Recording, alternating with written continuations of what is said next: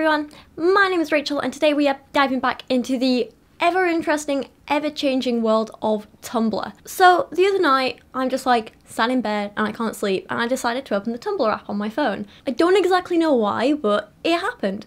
And I figured, I wonder what some of the unpopular opinions are on Tumblr. And I found them. The response I had to some of these posts varied like everywhere from like, that's not an unpopular opinion, that's just common sense. What kind of parallel world are you living in where that is an unpopular opinion? To, yeah, it's a bit weird, mate. Hmm. So today we're going to be looking at a few posts from the unpopular opinion hashtag on Tumblr and kind of just discussing them. The posts I picked out aren't meant to be like super extreme or super controversial, they're just ones I thought would make some interesting talking points. So I'm going to stop my rambling and we are going to jump right into this. First up, unpopular opinions. Being overweight isn't healthy, however, that doesn't give you the right to harass and mock them for being overweight. Just stay in your lane, you aren't helping them by shaming them. And this is one of those that shouldn't be an unpopular opinion cases. This should just be common sense. The science has proven that being overweight is not healthy, just like being underweight isn't healthy. By denying the health risks associated with obesity, you're just putting yourself in more danger. That's that's a fact, that's an unavoidable fact. But of course, you should never shame someone because of how they look. Calling someone gross and disgusting because they're overweight or underweight is not acceptable. But pointing out that someone is um, risking heart disease by being morbidly obese isn't mocking. It's just a fact. Just like saying smoking increases your risk of lung cancer. It's not mocking people who smoke, it's just a fact. So yeah, this was one of those kinds where I was like, this is weird to be an unpopular opinion because it just, it, it it's common sense. On the same post, it writes, people of colour can be racist. Again, common sense.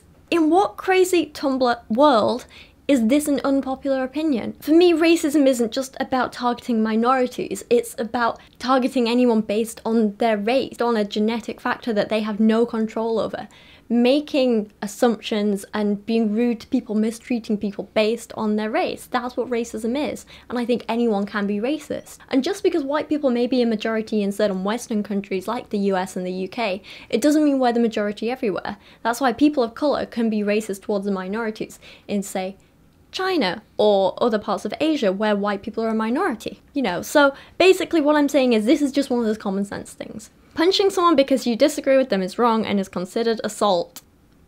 Common sense, again, mate. Calm civil debate is better than protests. Just point out flaws in the arguments instead of trying to silence it.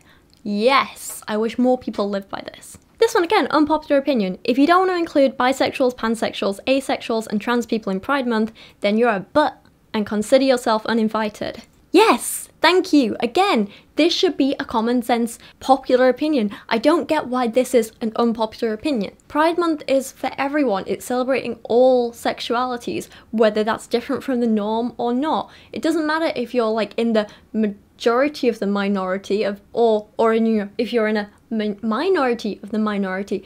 I'm I'm not making sense here. The point is, I think things like pride and you know kind of pro lgbt celebrations and stuff like that should include everyone. And we should be raising awareness of all kinds of people and all kinds of sexualities and showing that there's nothing wrong with them. Of course i draw the line at people who want to include things like pedophilia in there because yes while technically it's a sexual preference that you can't control it is one that harms someone because you've got this power imbalance and the child can't consent, they're not old enough to understand what's happening, um, and it, you know, science has shown that it damages them. There's been no scientific proof that being gay damages people and so on. You, you know what I'm saying. So anyway, point point is, I don't get why this is an unpopular opinion. Tumblr is a weird place. Same goes for this one, right? Unpopular opinion.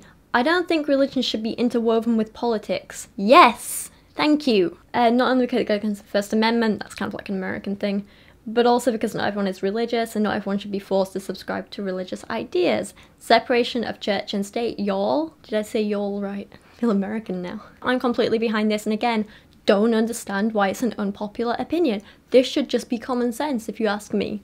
Like, as an atheist, I don't want parts of religion thrust into my life. Um, just like a Christian wouldn't want parts of Islam thrust into their life, or you know, a Muslim wouldn't want parts of Christianity thrust into their life, or um, a Jew wouldn't want parts of Wicca thrust into his life. There are certain things we can't deny, like how religions have shaped our societies and how religions have had an influence on our laws and stuff in the past.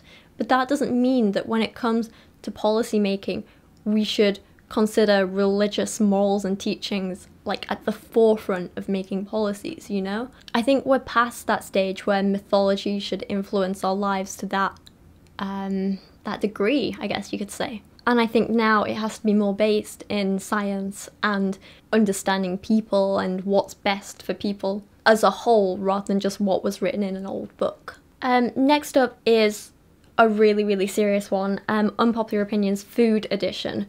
This could be controversial. I'm warning you guys. All right. Avocado is gross unless it's in guac. I have mixed feelings about this one, right? Because on the one hand, yes, avocado is gross, and that shouldn't be an unpopular opinion, but I know it is. Unless it's in guac. No, even guacamole is disgusting.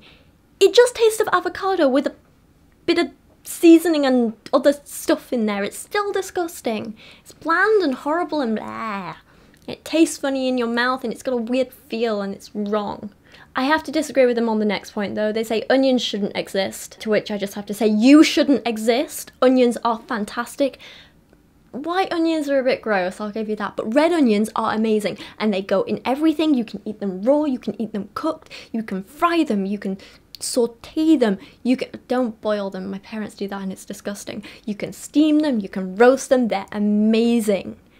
Onions are the best. And if you don't like them, you're wrong. See, don't ever say we don't cover the important topics on this channel, alright?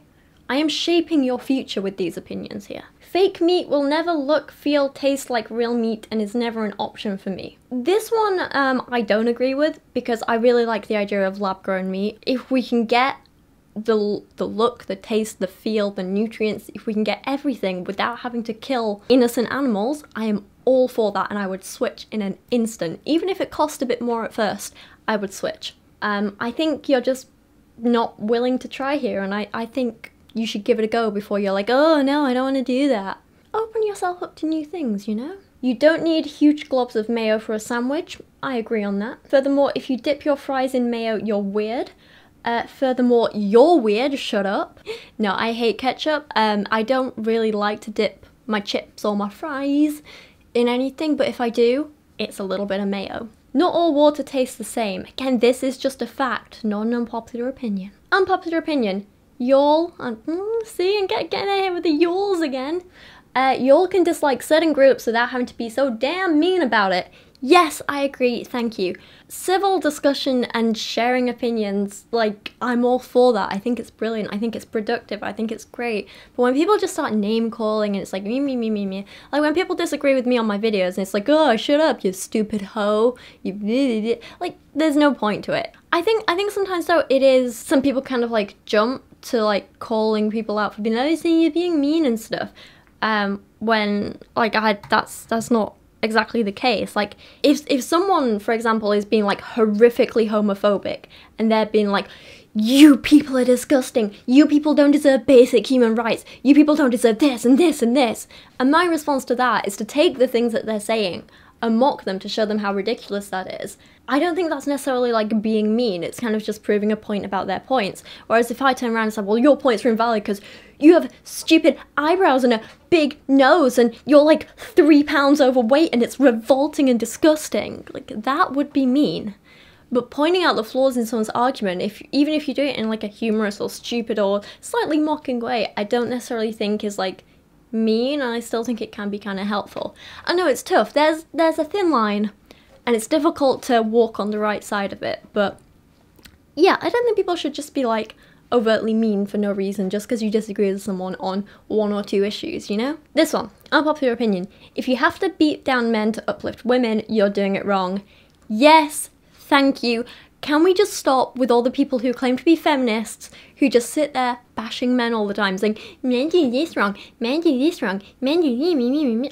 No, at the end of the day, we're all people, we're all humans. Everyone has feelings, everyone has lives, everyone has things that they want from life, and sometimes people go about it in the wrong way. And sometimes people are sexist. But women do that too. If you make an assumption about someone just because they're a man, you're being sexist. Just like if you make an assumption about someone because they're a woman, you're being sexist. My point is, uplift everyone. And like, I think sometimes people place too much of an issue on gender and say, well, you can't do this because you're this gender, or you must do this because you're this gender. I'm like, guys, just, just screw gender, okay? It's a thing. It's how people identify themselves. It's there, okay? But we don't have to make a big deal about it and like bring it into everything, you know? And there's another thing recently about people arguing about like who should pay on a date. And I'm like, do you think same sex couples argue about this stuff? No, so why should a heterosexual couple? Like for me, if someone offered to pay on a date, like I'd say, "Oh, thank you, I'm flattered. I'll get it next time." Or I'd say, "Are you sure? I don't mind going halves with you." Or like if I was earning a bit more money than them or something like that, or like I was the one who asked someone out, I'd be like, "Oh, I'll get this. Don't worry." For me, like offering to pay for someone like is not an insult, especially if it's like a man offering to pay for a woman. It's not an insult. Not everything is like deeply embedded in sexism. Not every man is trying to like squash down women and make them into your property by like paying for their food. Like that is stupid if you think like that. And if you have such a like simplistic view of like feminism and rights, then you just kind of need to grow up a little bit. My friends don't get mad when we're out and I'm like, oh, I'll buy this round of drinks. They don't think, you're trying to oppress eh, me. Like, me and my friends go out all the time and most of them are guys and they'll be like, oh, I'll buy this round of drinks. I don't feel oppressed by that because it's my friends doing something nice for me. Just like I wouldn't get mad if my dad gave me some money for something or bought something for me. Offering to pay for things and like do nice things for people or like pay for a dinner or a round of drinks or buying someone a gift. It's a way to show you care about them. It's a way of saying, hey, I love your company. I love spending time with you. Let me get this to give you something back, you know? Not everything is like deeply rooted in this like patriarchy and oppression I think sometimes people read too much into things. I got really off topic here, but just wanted to rant. Uh, next up, I don't know, I still don't think that homosexuals are really oppressed. They can just pretend to be heterosexual, heteroromantics if they don't want to get into trouble. I don't know. I think you're a douche. If a person has to hide parts of who they are just to not get into trouble, kind of oppression. When people are literally like sat there debating over whether you should be allowed to get married and have kids, essentially to have a normal life, just because of who you're attracted to and who you love, and it's not actually harming anyone, and you can be in a consensual adult relationship that's very happy and very functional, and people are still sat there going, mm, but I don't know, because sometimes you put it in his butt that's kind of oppression. And if people are sat there debating whether or not you should be allowed to adopt kids or have kids and how you'll be terrible parents just because you happen to be two women and one of you doesn't have a penis, that's kind of oppression. You know, they don't consider what you two are like as individuals and people. They just think because you're two women, you can't raise a child well. Yeah, that's oppression. And then, of course, there's all the countries out there where people are literally killed for being gay. People have to spend their lives hiding, and that's not fair.